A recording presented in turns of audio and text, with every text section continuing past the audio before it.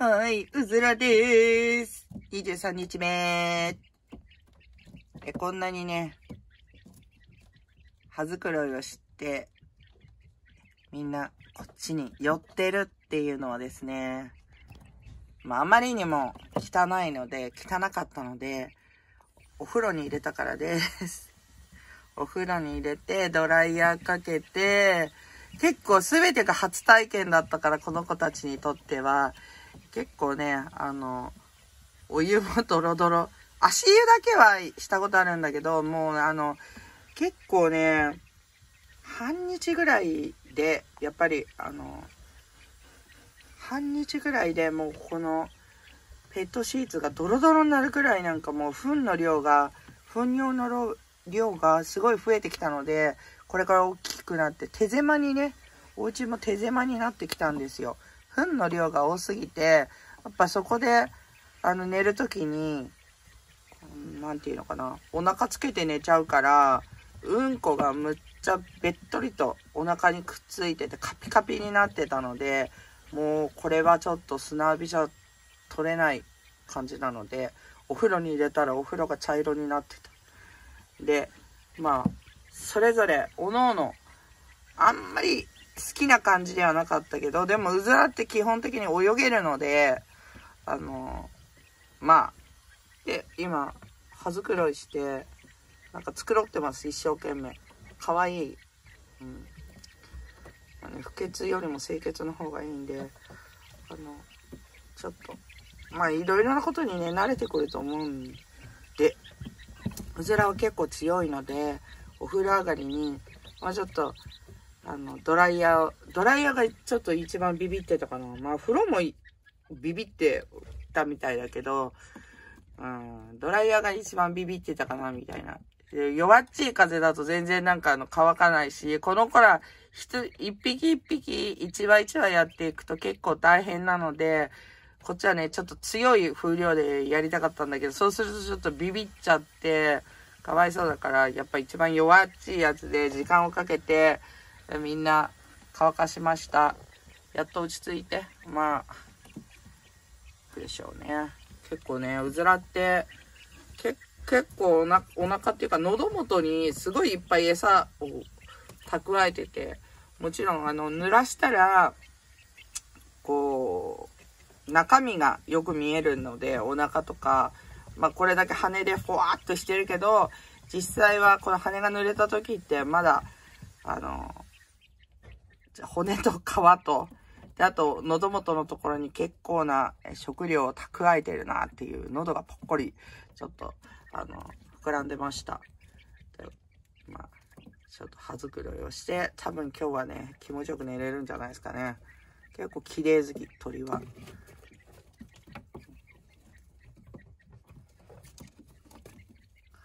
もう大きさ的には、まあもう、これからあと一回りぐらい、かな。まあだいぶ、顔がね、あとまだ幼さがちょっと残ってるんで、まあ中学生、人間で例えると中学生ぐらいかな。1ヶ月ぐらいで、ちょうど1ヶ月ぐらいで女子高生みたいな感じで、あまあそろそろ卵が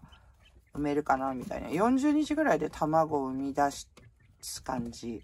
でもそこからはね、毎日毎日卵を産んで、多分、1年間ぐらい、まあ30過ぎぐらいまで人間で例えると30過ぎまでは毎日な、毎日卵を産んで、その卵も一番美味しくて栄養価があって、みたいな感じだと思います。で、1年間卵を産んだら、もう、毎日は産まなくなってきて、まあ、ちょっとね、本当に、はい、こう鶏を、鶏じゃない、うずらをね、買って、その卵の、卵農家っていうんですか？標準状とかだと、その1年間で、うずらは、悲しいバトンの方に移るみたいな。で、うちは、卵農家とかではなく、本当にうずらが好きで飼ってるので、この子らは大事に育てて、って感じですね。一番やっぱりね、こうやって飼ってる、ペットとして飼ってる、この、まあなんていうのかな、養順上で飼え、あの、飼ってるというか、あの、いる子たちは、あの、まあそれなりにかわいそうな部分もあったりとかするんだけど、ペットとして飼う場合、やっぱり人間のね、過失による事故とかがあるので、その辺はもうなるべく、あの、注意して、あの、天命を全うさせてあげたいなと思っています。もう、本当にね、うずら好きなんで、もう顔とかもね、このうずらが好きなんですよ。この波うずらのこの顔が好きなの。この色と、この羽と、この目のキリッとしたところとか、もうね、もう理想的。で、これがもうちょっと大きくなっちゃうと、生地みたいな感じで、こう日本だと生地とかになってくると、ちょっとこんなゲージでね、買えないんで、ちょっとね、うん。ほんとね、うずらはね、いいです。可愛いですよ、むっちゃ。で、メスは卵を産むんで、ただ、卵目的でうずらっていうと、やっぱり、うん、毎日産む時期が1年ぐらいなので、それじゃなく、こう、うずらを可愛がって、みたいな。まあ、あの、インスタとかだと、結構あの、うずらを、うずら好きとかね、うずらをむっちゃ可愛がってる人たちがいっぱいいるので、すごいね、いいです。なんかうずら。た、ただね、うずらってやると、うずらの卵を食ってる人とか、あとうずら自体のうずら料理。ここが焼き鳥にして食べてる人とか、あの、料理にして食べてる人とかが、ちょっと混じってくるのがちょっとね、あの、ちょ、ちょっと、なんか、あの、違うぞ、みたいな感じ。うずらが好きな、こう、うずらをこう飼ってる、こう、ペットとして、これなく好きな人と繋がりたいんですけど、あの、うずらを食べるのが好きな人とか、卵を食う人が好きな人とか、そういうのがちょっと、あの、混ざってくるのがね、ちょっと、ちょっとなっていう、そんな感じでございます。で、今週末に、あの、このゲージを、ちょっと、あの、3個買って、えー、まず、まず2分割。まず4、4、4話4話に分けて、ちょ、この密な状態、こ、こ本当にね、本当にもう数時間でこううんこべっとりになっちゃうんで、ものすごい、ものすごい新陳代謝が良すぎるの、うずらは。うん。なので、本来、こっちの、あのー、隣のお隣ではですね、1話で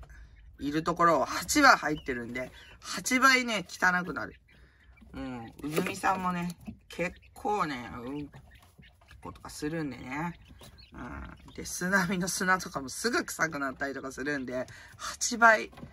っと8話っていうのはね、ものすごい、うん、ものすごい、こう、なんですよ。でも、こう、10個の卵から、今8話、こうやって、あの、成長してくれて、ものすごくね、あの、嬉しいでございます。本当になんか足伸ばし、さっきまでヒヨヒヨしてたのに、元気になっちゃったじゃない、羽乾いて。ほわほわね、可愛いですよ。やっぱりちょっと濡れて、濡れ濡れの時は、みんな、みんながこう、体を寄せ合って、本能なんでしょうね。可愛いです。で、今泣いてるのは太郎です。これがもうちょっとすると、多分オス、この中で、この8話の中で、オスだったら、あの、カカーって泣いて、で、メスだったら、泣かない。とかっていう感じ。あの、この、この特徴的なカカカーって泣くのは、これはオスなんで、オスだったら大変なことになるぞ、みたいな感じです。うずらはうるさい。うずらがうるさいので、焼き鳥にして食べていいですかっていうね、ヤフー知恵袋の質問があって、もうそれ結構つぼりました。うん。した、ほんと真剣に答えてる方がいて、うずらの羽の取り方とか、羽の抜き方とか説明してて、いや、ちょっとちょっとちょっとちょっとちょっとちょっと食うなよって思いました。可愛いです。めっちゃ可愛いです。もうね、仕草も可愛いし、顔も可愛いし、羽のこのグラデーションも可愛いし、で、何よりね、懐く。懐きますよ。今、私が仮にこうやって手をこうやって入れると、みんな注目してこう来るから。ね。はい。ちょ、ちょ、ちょ、ちょ、ちょ、ちょ、ちょ、ちょ、ちょ、ほらほらほらほらほら。ほら。ほらほらほらほらほらほら。ほらほらほらほら。普通にこう、こん、あの、多分こうやって飼ってなかったら、さーって逃げると思うんですけど、もうずっと子供の頃からね、一緒なんでね、結構懐いてます。これから、あの、夜に美味しいの食べさせて、ミルワームを食べさせて、で、あの、おやすみなさいみたいな。そんな感じです。